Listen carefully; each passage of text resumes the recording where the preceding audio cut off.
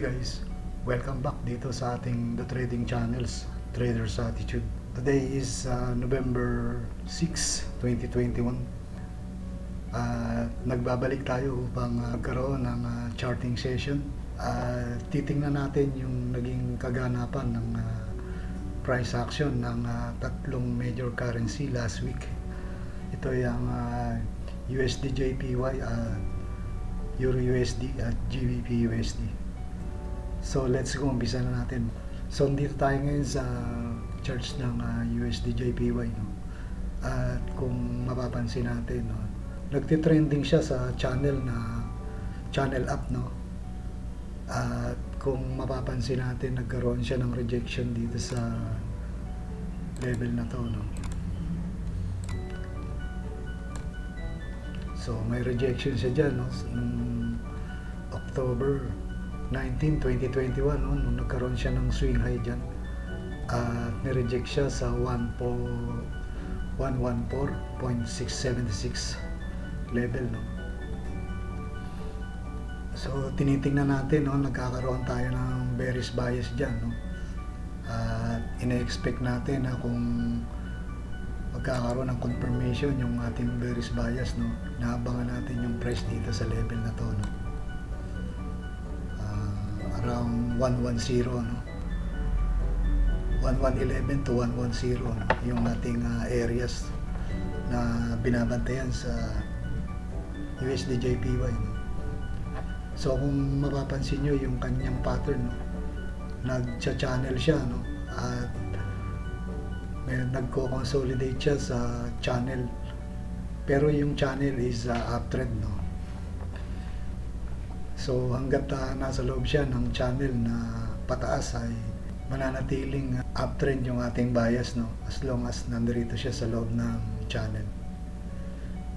So discarte na lang kung paano nyo iti-trade yung kanyang range no? So sa ngayon na uh, mapapansin natin na nagtitrending siya pababa no? So kung mapapansin nyo yung kanyang trend no yung kanyang uh, short term trend is uh, downtrend no Siyempre kung uh, bulls ka, no, dito ka sa ibabaw. At kung uh, bearish ka, dito tayo sa ilalim. Ito yung pinaka-bearish side natin. Itong areas na to. No? So dito uh, sa loob ng channel medyo masyadong risky kung iti-trade natin to. No? Itong loob ng channel. No? kailangan lang tama yung yung uh, trade entry kapag uh, magte-trade ka sa loob ng channel na yan. So yun yung ating napapansin sa USD JPY no. Nagcha-channel siya pataas at ang kanyang mga key level is uh, 110 to 1111 no. Yan yung kanyang uh, key level na ating uh, ating binabantayan no, tong level na to no. So last week no, nagkaroon siya ng uh, mataas na volatility no? at inaasahan natin na maraming na whipsaw rito sa candle na to no? pagmamasdan nyo napakahaba ng candle maraming na whipsaw rito nung Friday so yun yung ating nakikitang potential na maaaring igalaw ng USD JPY no? sa mga susunod na araw so kung, bull, kung bullish ka dito tayo sa ibabaw ng 1114 no? Bearish dito sa ilalim ng 109. So, punta naman natin yung ating isang uh, currency pair, no, yung Euro USD. So, dito tayo sa charts ng Euro USD, no. Uh, kung makikita natin, no, yung kanyang pattern is uh, falling wedge, no. So, tingnan natin yung kanyang dynamic key level sa higher time frame. So, umpisa na natin sa monthly. So, kung mapapansin nyo sa monthly, no, ito yung kanyang uh, dynamic key level, no.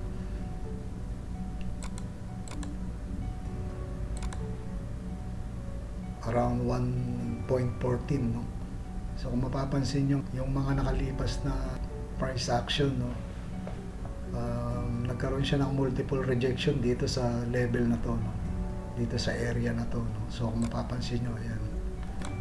Multiple rejection yan. So kaya dyan natin nilagay yung ating uh, dynamic key level no? At kung mapapansin nyo nagkakaroon ng reaction dito sa level na to no? Nung bumalik yung kanyang price dito sa level na to nagkakaroon ng reaction, no, makita niyo yung candle, no. Nag-create siya, dalawang doji na, no. Ibig sabihin, nagkakaroon ng uh, reaction sa level na to. So, magkakaroon tayo ng uh, bullish bias dito, no. Pero hindi siya confirm, no.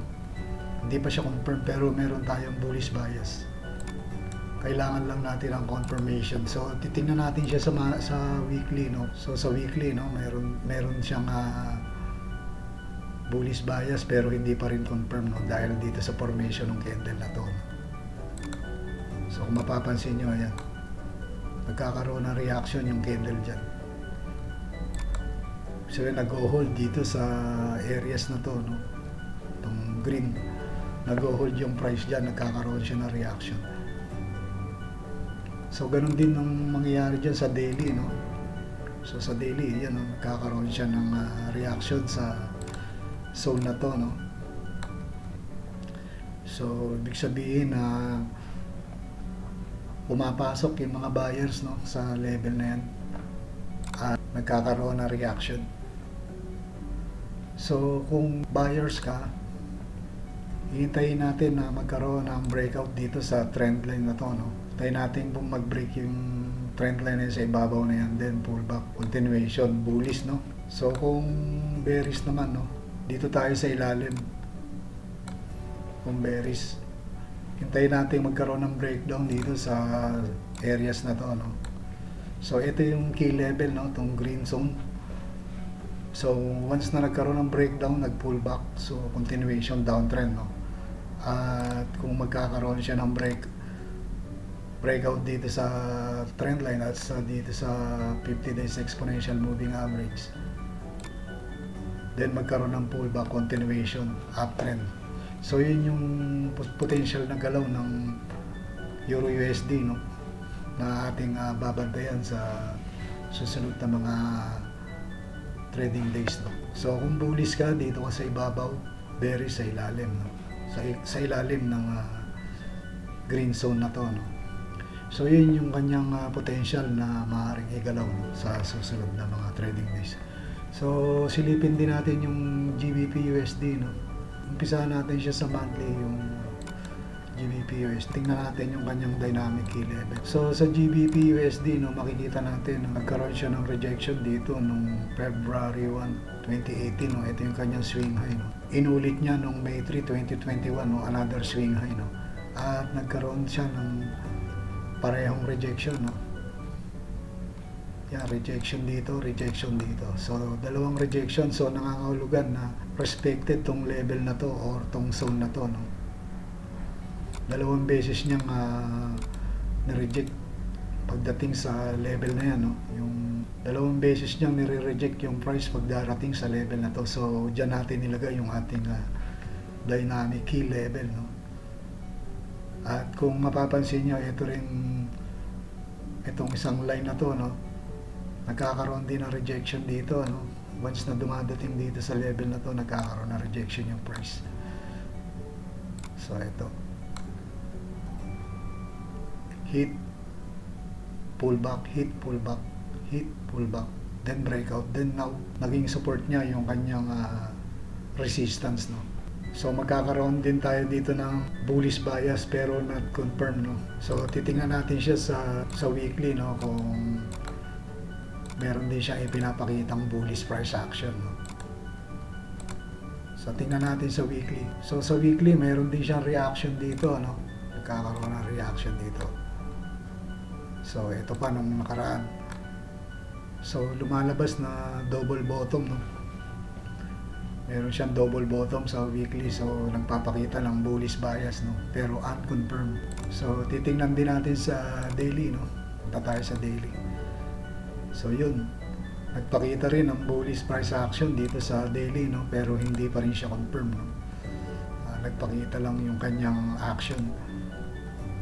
Pinapakita ng kanyang action na merong bullish na pumapasok no sa level na to no. Yan nagkaroon siya ng uh, action diyan no. Uh, ibig sabihin pumapasok yung uh, mga buyers sa level na yan no dahil dito sa formation ng candle na to no nagkaroon siya ng hammer no so kung position trader ka no so para para sigurado no hintayin mo yung breakout dito sa trend line, no? Pullback continuation, no? Laging ganyan yung ating ano, no, breakout. Breakout sa trend line. And breakout dito kung kung downtrend ka naman or bearish continuation pababa. So yun yung ano no, yung kanyang ah, pattern no na maaring uh, maaari niyang igalaw no sa mga darating na araw. So bullish tayo sa ibabaw ng ah, trend line no. As long as walang breakout, wala tayong trade no. So ang trade natin sa breakout nitong ah, trend line.